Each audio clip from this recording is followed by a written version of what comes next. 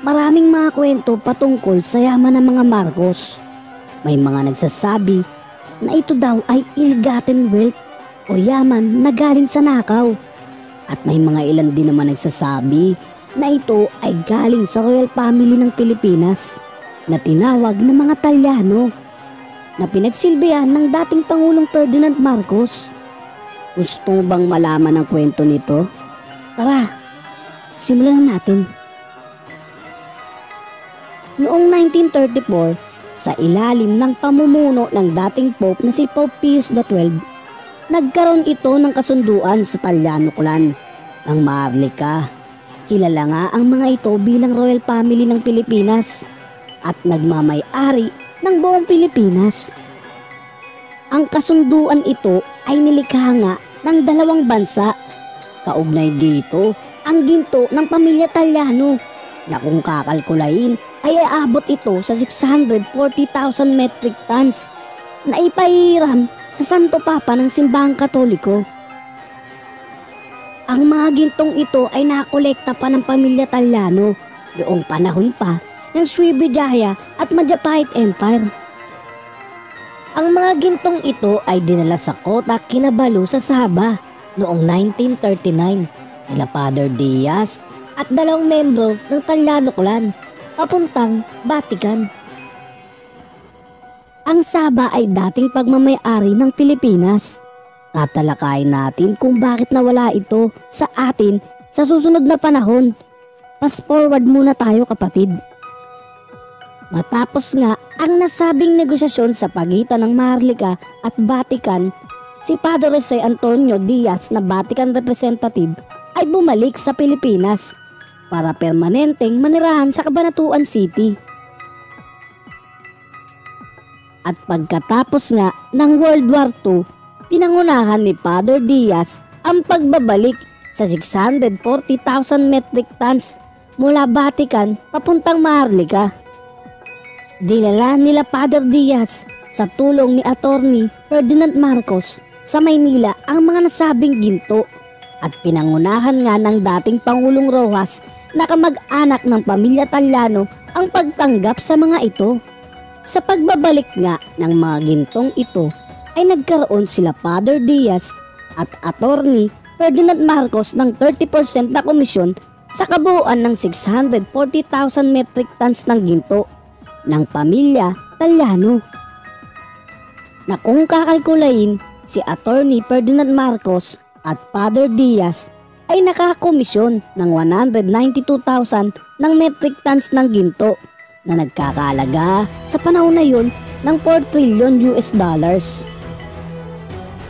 Take note, ito ay bayad sa pagtatrabaho ni Ferdinand Marcos sa pamilya Talyano bilang abogado ng mga ito ang mga nasabi ng ginto ay inilagay sa noon nakatatayo pa lang na Bangko Sentral ng Pilipinas bilang gold reserve ng ating bansa. Noong taong 1949 ay kinilala bilang pinakamayaman na tao si Father Diaz at Attorney Ferdinand Marcos sa mundo. Ngunit nilipat nga ni Father Diaz at Attorney Ferdinand Marcos ang kanilang nakomisyon na ginto mula sa Bangko Sentral ng Pilipinas papunta sa Swiss Bank sa Switzerland. Nang maging Pangulo si Ferdinand Marcos, ay layunin nga nito na naibalik ang kadakilaan ng Pilipinas. Isa rin sa mga layunin nito na palakasin ang ekonomiya sa rehiyon ng Timog Silangang Asya Kasama na dito ang Pilipinas. Nabanggit niya nga ito sa Toronto, Canada nang humarap ito sa mga world leaders noong 1983. Dagdag pa ang plano na magkaroon ng Asian dollar bilang pangunahin pamamaraan ng kalakalan sa nasabing rehiyon. Ito ang kanyang vision para mapaangat ang mga bansa na nasa Timog Silangang Asya Nasaan na ngayon ang naiwang 400 metric tons ng ginto na pagmamayari ng pamilya Talyano? Sa ngayon, ito ay nasa Bangko Sentral ng Pilipinas. Ito ay ininsure ni dating Pangulong Ferdinand Marcos sa Lloyds of London at sa mga ayente nito upang bantayan ang tonetoneladang ginto ng pamilya Talyano. Sinasabi ng iba na ang yaman ng Marcos ay ill-gotten wealth o ito ay yaman na galing sa nakaw. Na kung pagbabasihan natin ang mga nangyari na bago pa man umupo sa pwesto o binata pa lang si dating Pangulong Marcos ay mayaman na ito.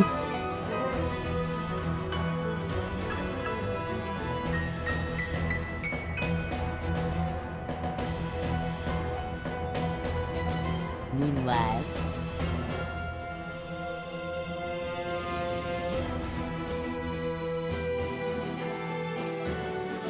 How was the last hours of being with President Marcos? During his dying He was moments? giving me strength by saying, Sweetheart, fear not. All our lives we committed on the side of the right. Like the sun will rise tomorrow, the truth will set us free.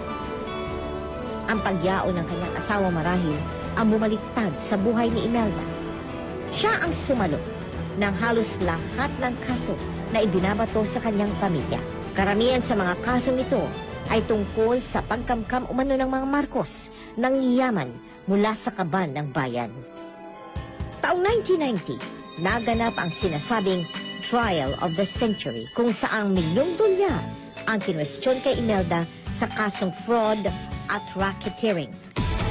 Dito sa gym sa likod ng bahay nakatago ang mga dokumentong nagpapatunay raw na not guilty ang pamilyang Marcos tungkol sa questionableng mga kayamanan.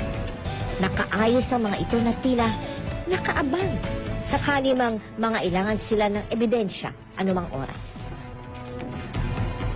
We're entering the, the documents of the trial of the century. Oh! Here. 170 banks that Marcos deposited money on. These are the 100, 350,000 documents used against me. Now, all of that, all the mines, all the banks of the world, 170 banks of the world. And I have the bill of lading. And these are all U.S. government exhibit. All of this. Just to show you the bill of lading, how much is 240 million dollars. Oh my goodness. Is it million? Billion? billion? Billion? 240 billion? Only one. And these are plenty of shipments. And then five sketches. Lucio, started them, all of this. Mm-hmm. Meralco. 2,900 hectares, that green fields, Alabang, that's all ours. I was going to build a satellite city for the poor. So, no, we are not the thieves. These are the people. Mrs. Marcos, if we go by all of these, you are you are rich beyond compare. No, this, this, this will save the world. The world. The world. I This, is, this is the reason why I want to survive.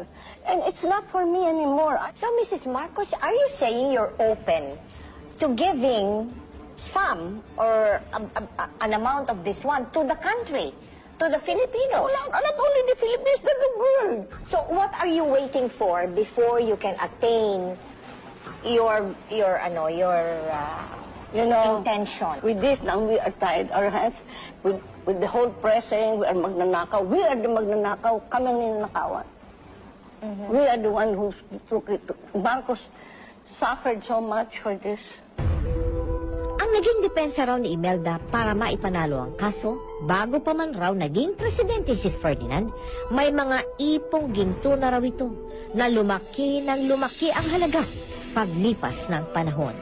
When we started, it was $32 and then $35.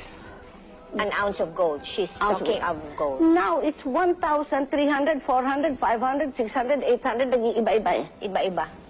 Ounce yan. And we are sitting on gold.